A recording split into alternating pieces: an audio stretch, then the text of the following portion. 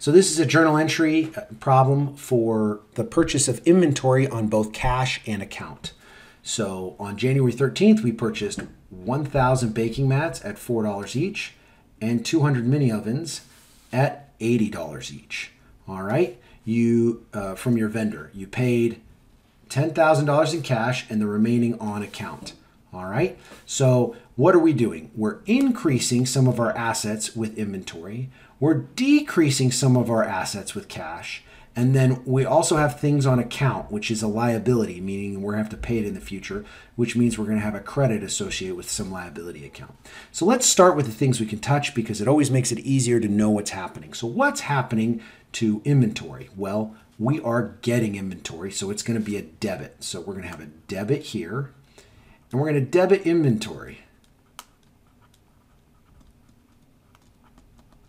All right, so we debit our inventory, but what amount do we use? Well, you could have two entries for the ba inventory baking mats for what this is total. It's $4 each times 1,000 is 4,000. So you could have inventory ba baking match at four, baking mat mats at 4,000.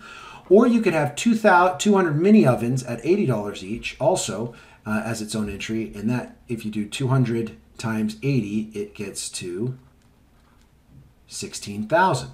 So you could have an entry for just one for the baking mats and then another one for the mini oven separately. Or you could be really savvy and say, you know what, we call all this stuff inventory. We're just going to call it inventory 20,000. Either way of doing this would be totally fine. If you did did them separately or if you did it all together uh, in writing your journal entry. The second journal entry is going to be a credit. All right. So the credit that you're going to have is going to be in two parts. All right, so we have our $20,000 of inventory that we received. And then we have two different things that are happening. We have cash. We have cash that's going to get paid. So cash is an asset. We can touch it and it's leaving. Our cash is going down.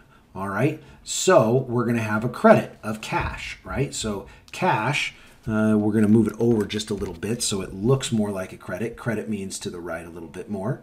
So cash, cash, my S is a little silly there, cash of 10,000, right?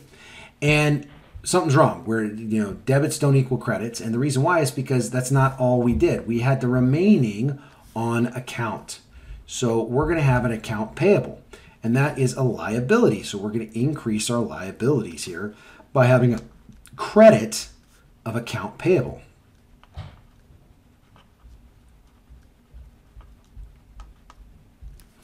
All right, a credit account payable of 10,000. All right, and where that shows up here is we're going to have inventory increasing our assets. Inventory increases by 20, 20,000, 20K. And then cash is going to go out. Cash is getting credited, just like right up here, of 10K. All right. And then our liabilities, what's happening with our liabilities? Our liabilities are increasing, right? So we have account payable. It's frequently written as AP at 10K right here. And that's going up. And so each one of these journal entries maps onto this uh, this balance sheet, this T account balance sheet right here. That's an arrow if you can't tell. Uh, and then this last inventory right here goes boom.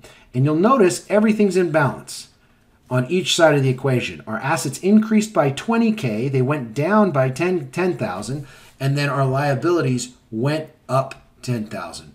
And so uh, net net, our assets went up 10,000 10, and our liabilities went up 10,000. Therefore, our equal there everything is equal. And it only went up 10,000 because it's 20,000 net our 10,000 of cash that's there all right?